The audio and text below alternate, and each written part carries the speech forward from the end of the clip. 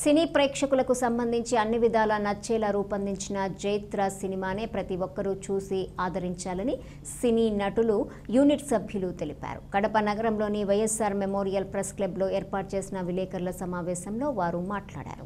అందుకు నిజంగా హ్యాపీగా ఫీల్ అవుతున్నాను. ఎందుకంటే రాయలసీమ అంటేనే చాలా డిఫరెంట్ పర్స్పెక్టివ్ ఉంటుంది కదా. పగ పంతాలు అని చెప్పి ఫ్యాక్షనిస్ట్ ఫ్యాక్షనిజం అని చెప్పి.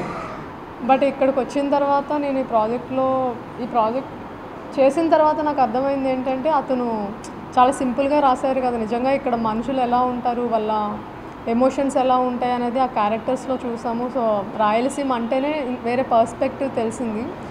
సో చాలా హార్డ్ వర్క్ చేశారు. దానికి సుభాష్ గారు మనీ పెట్టి మూవీని బయటకి రిలీజ్ చేస్తున్నందుకు కూడా చాలా సంతోషం. ఈ మూవీలో పార్ట్ అయినందుకు నేను చాలా హ్యాపీగా ఫీల్ అవుతున్నాను.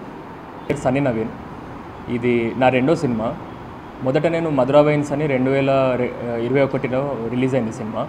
సో ఇది నా రెండో సినిమా. ట్వంటీ ట్వంటీ ఫస్ట్లో స్టార్ట్ చేశామండి ఈ మూవీ. అండ్ నేను పుట్టిన పెరిగింది హైదరాబాద్.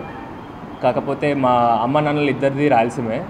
కానీ నాకు ఎప్పుడు ఆ- ఆ స్లాంగ్ కానీ లేకపోతే ఇక్కడ అంటే ఊరికి వస్తూ వెళ్తుంటాను అప్పుడప్పుడు అంతేగాని అంత పరిచయం లేదనమాట నాకు దీంతో కాకపోతే నాలో ఇది ఈ యొక్క క్యారెక్టర్ని బయటికి తీసుకొచ్చిన తోటగారికి ముందుగా థ్యాంక్స్ చెప్పాలి.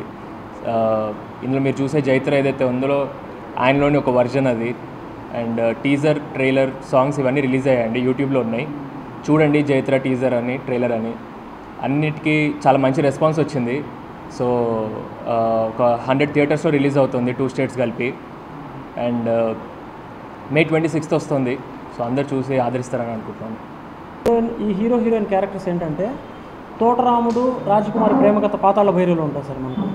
ఈ క్యారెక్టర్ హీరో క్యారెక్టర్ నేను తోటరాముడు అనే క్యారెక్టర్ నుంచి రెఫరెన్స్గా తీసుకున్నా.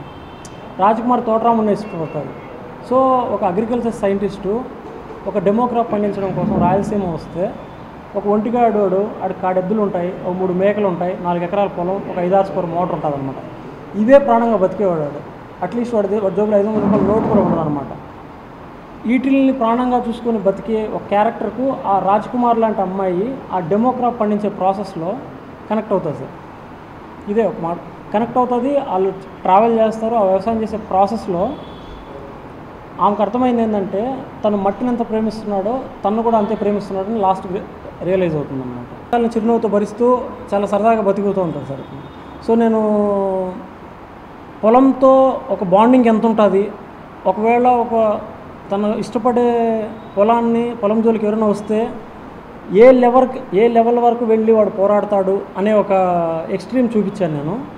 ఈ పోరాటంలో మట్టి కోసం ప్రేమించే ఈ దానిలోని ఆవేశం కనపడుతుంది ప్రేమ కనపడుతుంది భావోద్వేగాలు కనపడతాయి. సో ఒక మాటలో చెప్పాలంటే ఆ పొలంలో ఉన్న అన్ని వస్తువులను వాడు కుటుంబ సభ్యులాగా చూసుకుంటారు సార్. ఆ చి- మనకు పొలాల్లో మంచెలు ఉంటాయి కదా ఆ రైతు పాయింట్ ఆఫ్ వ్యూలో మంచి ఏంటంటే వాళ్ళ నాన్న చిన్నప్పుడు చనిపోతే భుజం మీదకి ఎత్తుకొని తిప్పిన వాళ్ళ నాన్నలాగా అనిపిస్తుంది అనమాట మంచిగా.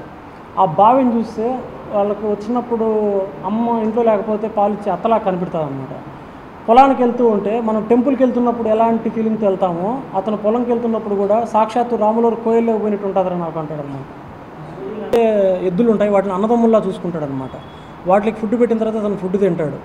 ఒక కుటుంబ సభ్యుల్లాగా దాన్ని సపరేట్ కట్టేయకుండా ఇంట్లోనే ఎడ్లు కట్టేసుకుంటారు అనమాట ఇప్పటికీ అదే కల్చరు పులివెందులోని సుంకేసులు అనే ఊర్లో మనం మనుషులకి ఎలా అయితే రూమ్స్ ఉంటాయో ఇంట్లోనే ఎడ్లు కట్టేసుకునే కల్చర్ ఉంది సార్. అందుకని ఆ పులివెందుల్లోనే ఆ సుంకేసులో షూట్ చేశాము.